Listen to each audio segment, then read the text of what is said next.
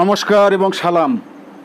আপনারা দেখছেন নিউজ নির্ভীক, আর আজ ছয় জুন সোমবার নিউজ নির্ভীকের বিশেষ প্রতিবেদন নিয়ে উপস্থিত আমি শরণ সুন্দর দাস।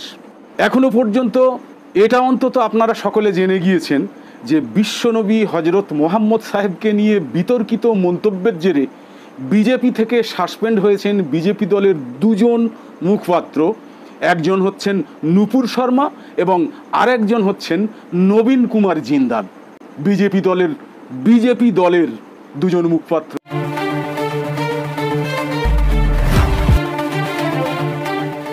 একটা সাধারণ মানুষও জানে যে দলের মুখপত্র মানে হচ্ছে, দলের মুখপাত্র মানে হচ্ছে দলের যে কথাগুলো বলা দরকার হয়ে পড়ে, দলের মুখপাত্রদের মুখ দিয়ে সেই কথাগুলো প্রকাশ করা হয়।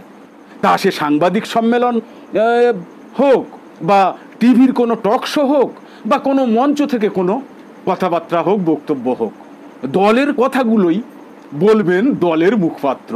বিজেপি দলের সেই রকম দুজন মুখপাত্র হলেন নুপুর শর্মা এবং নবীন কুমার জিন্দাল বা মুখপাত্র ছিলেন নুপুর শর্মা এবং নবীন কুমার জিন্দাল। তাই এক সপ্তাহেরও বেশি সময় আগে বিজেপি দলের কথাটা, বিজেপি দলের মনের কথাটা, বিজেপি দলের এজেন্ডার কথাটা, অর্থাৎ বিশ্বনবী হজরত মোহাম্মদ সাহেবকে নিয়ে বিতর্কিত কথাটা, বিজেপি দলেরই মুখপাত্র নুপুর শর্মা যখন বলেছেন, বিজেপি দলের সেই কথাটা, বিজেপি দলের মুখপাত্র নুপুর শর্মা যখন বলেছেন, নুপুর শর্মার সেই কথাতেই এক সপ্তাহেরও বেশি সময় ধরে বিজেপি দলটা দিব্যি সাই দিয়ে এসেছে, দিব্যি সমর্থন করে এসেছে। তাই নিয়ে ভারতের মুসলমানরা যখন তীব্র থেকে তীব্রতর প্রতিবাদ করে চলেছে, বিশেষ করে সেই প্রতিবাদে উত্তরপ্রদেশের কানপুরে যখন একটা দাঙ্গার পরিস্থিতি সৃষ্টি হয়েছে, বিজেপি শাসিত সরকার সেই সব প্রতিবাদী মুসলিমদের বিরুদ্ধে বরং অবর্ণনীয় দমন পীড়ন চালিয়ে তৃপ্তি লাভ করেছে। কিন্তু যেই না প্রতিবাদটা আরব বিশ্ব সহ গোটা বিশ্বে ছড়িয়ে পড়েছে, অমনি বিজেপি এক সপ্তাহেরও বেশি সময় পরে হঠাৎ একশো আশি ডিগ্রি ঘুরে গিয়ে বলছে, নুপুর শর্মা এবং নবীন কুমার জিন্দালের কথা বিজেপি দলের কথা নয়। পৃথিবীতে এর থেকে আর বড় মিথ্যা কিছু থাকতে পারে? থাকতে পারে না।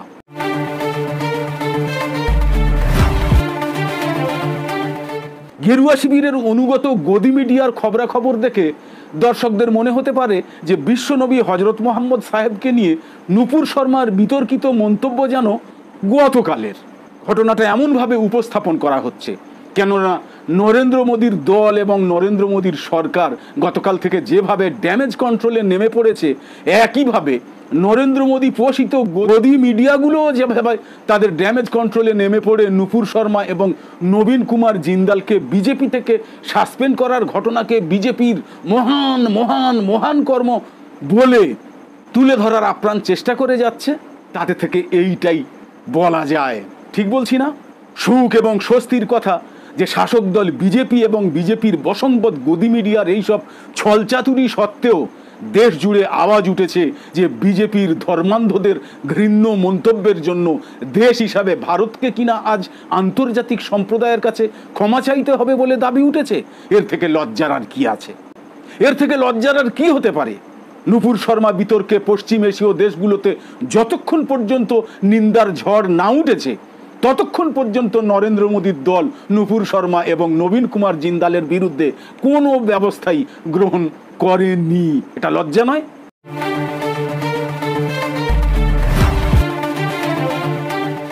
টিআরএস নেতা কে টি রামারাও নিজের টুইটারে প্রধানমন্ত্রী নরেন্দ্র মোদীকে ট্যাগ করে তাই লিখেছেন, নরেন্দ্র মোদীজি বিজেপির ধর্মান্ধদের ঘৃণ্য মন্তব্যের জন্য কেন দেশ হিসাবে ভারতকে আন্তর্জাতিক সম্প্রদায়ের কাছে ক্ষমা চাইতে হবে? এখানে বিজেপিরই ক্ষমা চাওয়া উচিত।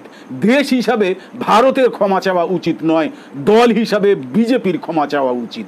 তারও আগে দিনের পর দিন ঘৃণা ছড়ানোর জন্য আপনার দলের উচিত প্রত্যেক ভারতীয়র কাছে ক্ষমা চাওয়া।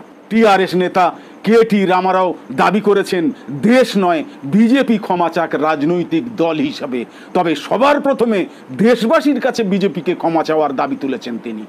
এরপরের আর একটা টুইটে বিজেপি সাংসদ সাধি প্রজ্ঞা সিংয়ের কয়েকটা বিতর্কিত মন্তব্যের খবরের স্ক্রিনশট পোস্ট করে তেলেঙ্গানার মন্ত্রী লিখেছেন, মোদিজি আপনার নীরবতা আমাদের হতভাগ করে দিয়েছিল যখন বিজেপি সাংসদ প্রজ্ঞা সিং ঠাকুর মহাত্মা গান্ধীকে হত্যার প্রশংসা করেছিলেন। আপনাকে মনে করিয়ে দিই, স্যার, আপনি যা প্রচার করতে চান, আপনি তাই অনুমোদন করেন। এই যে ধর্মান্ধতা এবং ঘৃণাকে উপরমহল থেকে নিরঙ্কুশ সমর্থন করা হচ্ছে, এটা ভারতের অপূরণীয় ক্ষতির কারণ হবে। বলেছেন কেটিআর কেটিআর ছাড়াও অন্যান্য বিরোধী নেতারাও নুপুর শর্মা বিতর্কে কেন্দ্রকে নিশানা করেছেন। কংগ্রেস নেতা পবন খেরাও কেটিআর এর ভাষাতেই কেন্দ্রের বিরুদ্ধে সুর চড়িয়েছেন। একটা ভিডিও বার্তায় তিনি বলেছেন, ভারত কোনো ভুল করেনি, ভারত কোনো ভুল করেনি যে ভারতকে ক্ষমা চাইতে হবে। ভুল করেছে বিজেপি। দেশ কেন ক্ষতিপূরণ দেবে তার জন্য?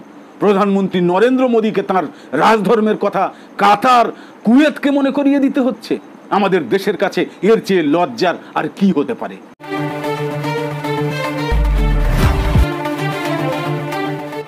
বলেছেন কংগ্রেস নেতা।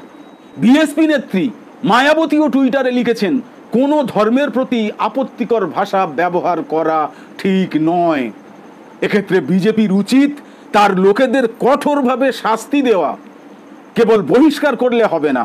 কঠোর আইনের অধীনে তাদের জেলে ঢোকাতে হবে, তাদের জেলে ঢোকানো উচিত, বলেছেন মায়াবতী।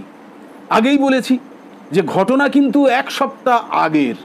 ঘটনার এক সপ্তাহ পরে আরব বিশ্বকে উত্তাল হতে দেখে ঠেলায় পড়ে মোদির দল নুপুর শর্মা এবং নবীন কুমার জিন্দালকে সাসপেন্ড করছে। কি লজ্জা। লজ্জা নয় এটা?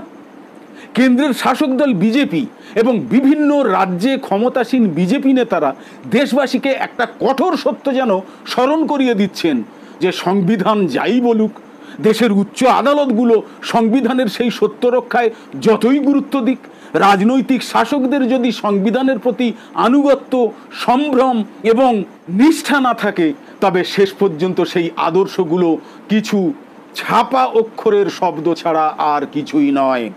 সংবিধানের অবমাননায় নাগরিক সমাজ ব্যথিত হতে পারে, নাগরিক সমাজ মোমবাতি হাতে মিছিল করতে পারে, নাগরিক সমাজ অনশনে বসতে পারে, কিন্তু যে শাসক বা যে শাসক দলের গণতন্ত্রের প্রতি নিষ্ঠা নেই, দেশের মৌলিক তন্তুগুলোকে রক্ষা করার তাগিদ নেই, সেই শাসকের মন পাল্টাতে মোটেই পারে না, সেই শাসক মন পাল্টাবে না। বর্তমান ভারতে বহু প্রসঙ্গেই এই কথাগুলো সমানভাবে প্রযোজ্য।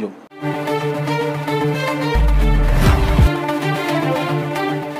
যে লজ্জার কথা বললাম না?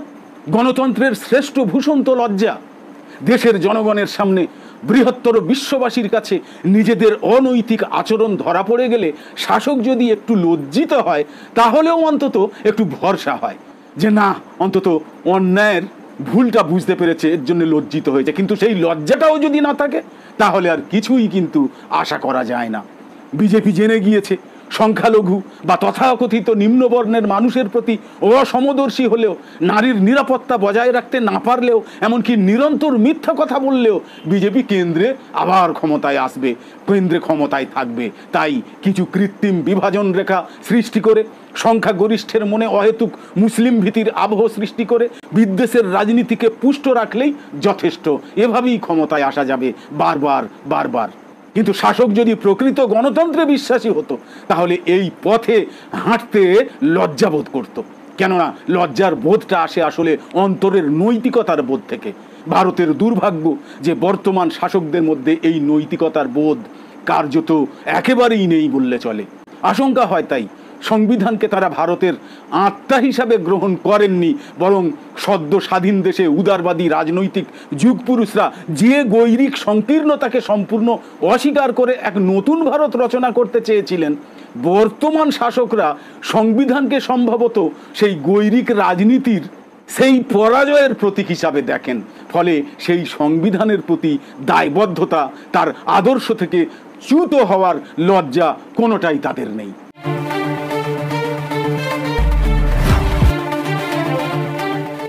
এক সপ্তাহ আগে একটা টিভি চ্যানেলে বিশ্বনবী হজরত মোহাম্মদ সাহেবকে নিয়ে বিতর্কিত মন্তব্য করেছিলেন বিজেপির মুখপাত্র নুপুর শর্মা।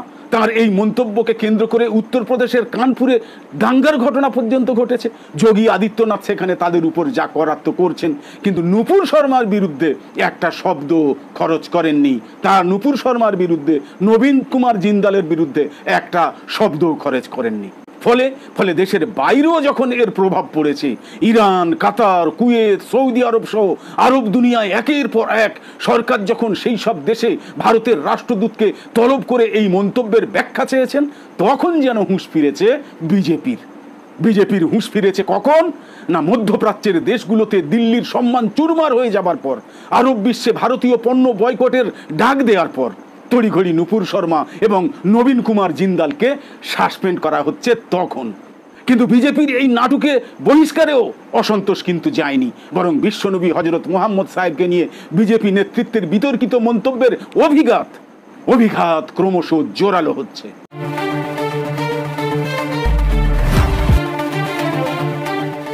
উপসাগরীয় ইসলাম প্রধান দেশগুলোতে অসন্তোষ বাড়ছে। ইতিমধ্যেই কাতার ইতিমধ্যেই কুয়েত এবং ইতিমধ্যেই ইরান ভারতীয় রাষ্ট্রদূতকে সমন ধরিয়েছে। ভারতীয় পণ্য বয়কটের জন্য সোশ্যাল মিডিয়ায় হু হু করে বার্তা ছড়িয়ে পড়ছে।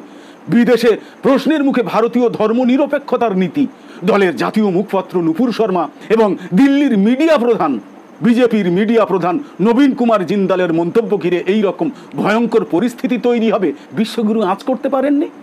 সারা বিশ্বের খবর তো উনি আঁচ করেন। আঁচ করতে পারেননি?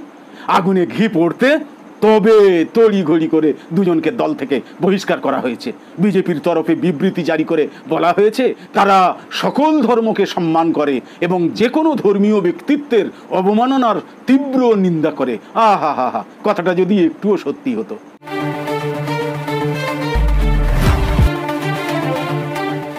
সরকারিভাবে কাতার বলেছে। এই মন্তব্যের জন্য কাতার ভারত সরকারের কাছ থেকে জনসাধারণের উদ্দেশ্যে ক্ষমা এবং অবিলম্বে নিন্দা প্রত্যাশা করছে। এই ধরনের ইসলাম বিরোধী মন্তব্যের কারণে শাস্তি না হওয়া মানে মানবাধিকার সুরক্ষার জন্য একটা গুরুতর বিপদ এবং তা আরও কুসংস্কারের দিকে ঠেলে দিতে পারে, যা ক্রমশ হিংসা এবং ঘৃণার চক্র তৈরি করবে। এছাড়া এই ধরনের অপমানজনক মন্তব্য ধর্মীয় বিদ্বেষের উস্কানি দেবে এবং সারা বিশ্বের দুই বিলিয়নেরও বেশি মুসলমানকে ক্ষুব্ধ করবে। কে বলছে? সরকারিভাবে বলছে কাতার। কাতারের এই বিতর্কিত মন্তব্যের সময়েই উপরাষ্ট্রপতি এম ভেঙ্কাইয়া নাইডু তিন দিনের কাতার সফরে রয়েছেন। এর থেকে লজ্জার আর কিছু আছে? নেই।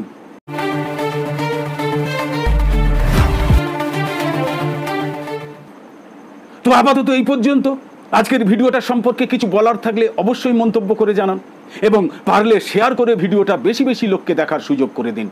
ভিডিওটা যারা ইউটিউবে দেখছেন, অথচ নিউজ নির্ভিক চ্যানেলটি এখনও পর্যন্ত সাবস্ক্রাইব করেননি, তারা নিয়মিত আমাদের সঙ্গে থাকার জন্য এবং এমনই সব গুরুত্বপূর্ণ খবরের আপডেট পাওয়ার জন্য চোখ রাখুন নিউজ নির্ভিকে আর অবশ্যই সাবস্ক্রাইব করুন নিউজ নির্ভিক ইউটিউব চ্যানেল। সাথে সাথে নিউজ নির্ভিকের প্রত্যেকটা ভিডিওর নোটিফিকেশান পাওয়ার জন্য পাশের বেল আইকন অন করে অল সিলেক্ট করে দিন। আর যারা নিউজ নির্ভিক চ্যানেলটি ফেসবুক পেজে দেখছেন আজকের এই ভিডিওতে লাইক কমেন্ট করে সাথে সাথে নিউজ নির্ভিক চ্যানেলে লাইক দিয়ে এবং ফলো করে সঙ্গে থাকুন। নিউজ নির্ভিকে এমনই সব গুরুত্বপূর্ণ খবরের আপডেট সহ প্রতিদিনের খবর, গুরুত্বপূর্ণ প্রতিবেদন, স্বকীয়তায় উজ্জ্বল নানা ব্যক্তির সাক্ষাৎকার এবং ভিন্নধর্মী নানা বিষয় ভিত্তিক ভিডিও আমরা নিয়মিত দেখাতে থাকব আপনাদের। সকলে খুব ভালো থাকুন, সুস্থ থাকুন, ধন্যবাদ।